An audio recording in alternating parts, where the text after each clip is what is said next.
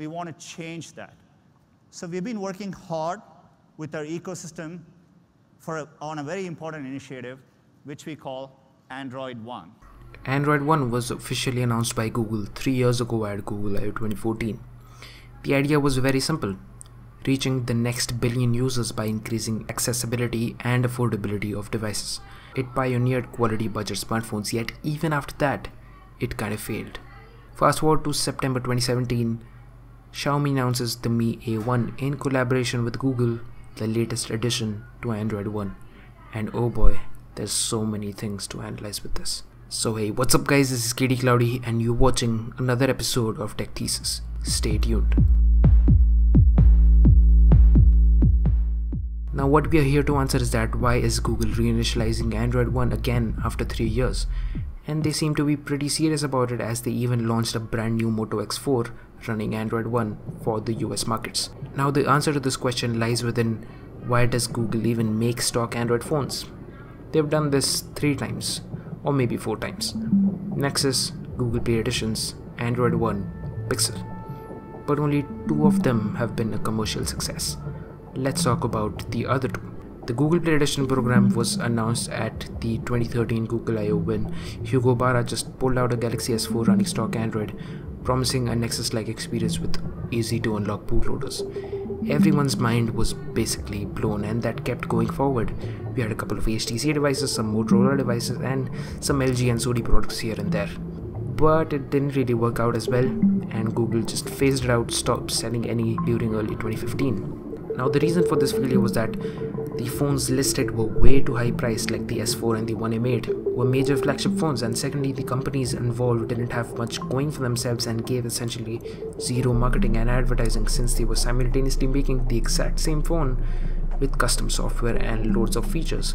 And since they were expensive, they weren't bought even by developers or enthusiasts as much since we had the Nexus 4 and the Nexus 5 were pretty cheap around that time. So yeah, zero marketing and high price were the problems of Google Play Edition phones. But on the flip side, there were actually some good things about this. Google didn't really ask manufacturers to make hardware changes to make them more like Nexus devices or make dedicated devices specifically for this program, but they just said just keep making hardware but ship some of them with our software. Pretty simple. And secondly, the good critical reception of these phones by whoever bought them and used them definitely liked the experience of stock Android on premium hardware, which later paved the way for the current Pixel and the Pixel XL. Now let's move on to Android One. Android One was announced exactly a year after announcing the Play Edition phones.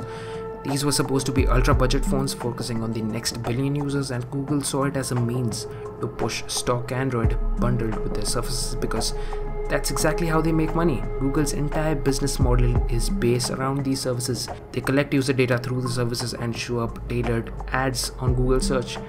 And this is really important because they don't really make any money off of Android. So whether it be it Nexuses or Pixels or Android ones, these help in increasing the usage of Google services simply because Google makes money. That's how her business works. And that's essentially why Google even focuses on stock Android hardware. But coming back to Android One, these devices were created by local manufacturers on cheap MediaTek chipsets, priced just over or under $100, and they were actually pretty decent phones. They fixed the cons of the Google Play editions by making them more affordable and marketing them really well, but despite this, they eventually failed. Again, because of two reasons. The phones were simply too generic. The brands which made these smartphones were pretty generic. They didn't really have a brand value as the big guys would have like Samsung or LG and the phones were really really cheap as in they were not really too good at anything objectively. Secondly, separate hardware just dedicated for this program was being manufactured which was a pretty big pain for the manufacturers who could have simply made their regular skin phones with specialized hardware for their regular markets. But despite these problems the devices themselves were not actually half bad but pretty good. And google didn't necessarily fail in hitting the consumer experience. And here we are three years later when they restarted the Android One program by launching the Mi A1 for India and the Moto X4 for the US. Both of these phones effectively fix all of the problems with both Android One and Google Play Edition.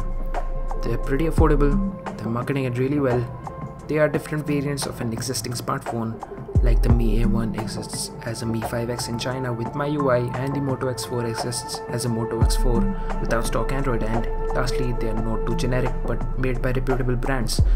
And here are some two extra bonuses. They are exclusive. You can't buy a Mi A1 anywhere except India and same goes for the Moto X and more importantly the introduction of the premium priced Pixel phones means that you can't really buy a good stock Android Google phone under a budget except for these. And lastly, it runs stock Android, duh. But the thing is that although Google is betting on this as a feature and marketing this as a unique selling point of these devices, I doubt how many average consumers will actually be impressed by this as a feature they would like to have on their phone. But given the price and the other features of these devices, Android One definitely feels like a confident bet on the next billion users.